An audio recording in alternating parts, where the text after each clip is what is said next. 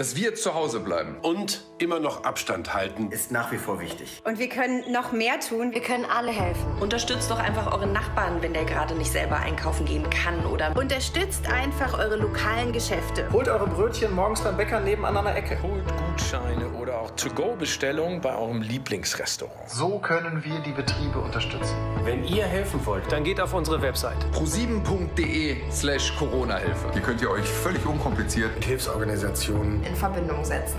Es lohnt sich. Jeder kann was tun, jeder kann helfen.